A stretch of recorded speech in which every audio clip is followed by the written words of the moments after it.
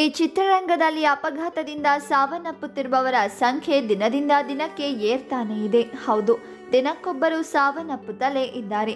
ಇದೀಗ ಹಿರಿಯ ಕಲಾವಿದನಿಗೆ ರಸ್ತೆ ಅಪಘಾತವಾಗಿದ್ದು ಭೀಕರ ರಸ್ತೆ ಅಪಘಾತದಿಂದ ಸಾವನ್ನಪ್ಪಿದ್ದಾರೆ. ಹಾಗಾದ್ರೆ ಯಾರಿದು ಹಿರಿಯ ಕಲಾವಿದ? ರಸ್ತೆಯಲ್ಲಿ ನರಳಿ ನರಳಿ ಸಾವನ್ನಪ್ಪಿದ್ದು.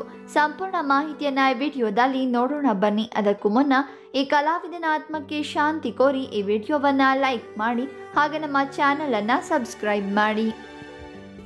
ಹಿರಿಯ ಯಕ್ಷಗಾನ ಕಲಾವಿದ ನಿಧನ ಹೊಂದಿದ್ದಾರೆ. ಯಕ್ಷಗಾನದ ಸುಪ್ರಸಿದ್ಧ ಕಲಾವಿದ ತಿಮ್ಮಪ್ಪ ಭಾಗವತ್ ಬಾಳೆಹದ್ದ ಅವರಿಗೆ ಐವತ್ತೊಂಬತ್ತು ವರ್ಷ ವಯಸ್ಸಾಗಿತ್ತು. ಭೀಕರ ಅಪಘಾತದಿಂದ ಸಾವನ್ನಪ್ಪಿದ್ದಾರೆ.